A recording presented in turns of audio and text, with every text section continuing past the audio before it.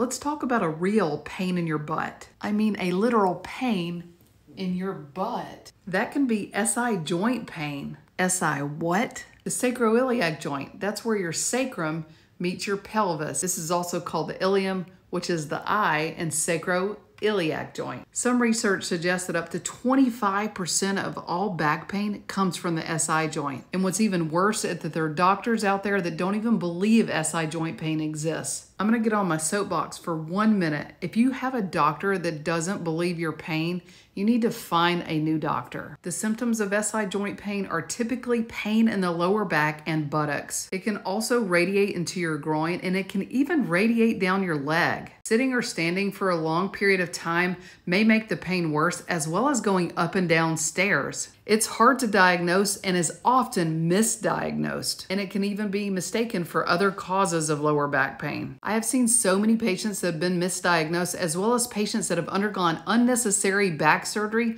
for sacroiliac pain. Things that make SI joint pain worse are usually standing for long periods of time, sitting for long periods of time, Unequal weight bearing, such as going up and down stairs or getting in and out of a car. Even impact activities such as running can push your leg into your pelvis and aggravate the SI joint. What causes it? Patients with inflammatory or autoimmune conditions can often suffer from SI joint pain. Wear and tear from arthritis can cause this pain, as well as injury to the joint, such as a fall or even a car accident. The most common thing I see with SI joint pain is pregnancy. I had it both times when I was pregnant and it was horrible. That's because these joints become lax during pregnancy to allow the pelvis to open up bigger for the baby. So, how do you get diagnosed? Make sure you go to a doctor that understands the SI joint and treats SI joint pain. If you ever hear a doctor say that that's not a real problem,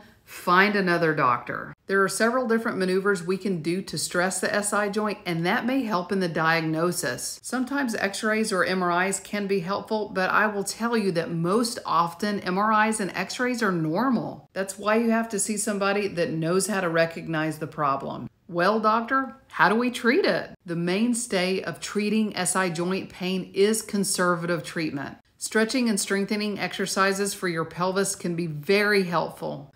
I'm going to show you five stretches to help with SI joint pain. The first is a standing quadricep stretch, and you'll hold 30 seconds for each side. The second is a hamstring stretch. You can get on the edge of a chair and lean forward to feel a gentle stretch on each hamstring. Alternatively, you can put each leg on a wall and hold that hamstring stretch for about 30 seconds each leg. The third stretch is called a press up, and here you'll want to lie on your stomach and raise your upper body to your elbows and hold for about 15 to 30 seconds. If you can't get quite this high, you can come up to your elbows for a nice, gentle stretch. The fourth is a piriformis stretch, where you cross one leg over the other and gently pull your knee toward your chest. Hold this for 10 to 15 seconds on each leg. A single knee to the chest is also a good, nice stretch, and you'll want to hold this for 30 seconds on each side. You can even do double knees to chest. The last maneuver is a gentle supine twist. This is when you lay flat on your back and let your legs fall out to the side. This can easily cause a release of the SI joint with instant relief. You'll want to hold this for 30 seconds on each side. Injections into the SI joint can often help and also help make the diagnosis. Ablations to the SI joint may also be an option. Surgery to fuse the SI joint can often be a definitive treatment in those that have failed all conservative treatment. If you've experienced SI joint pain and have any other suggestions, drop a comment in the comment section and stay tuned for more content like this.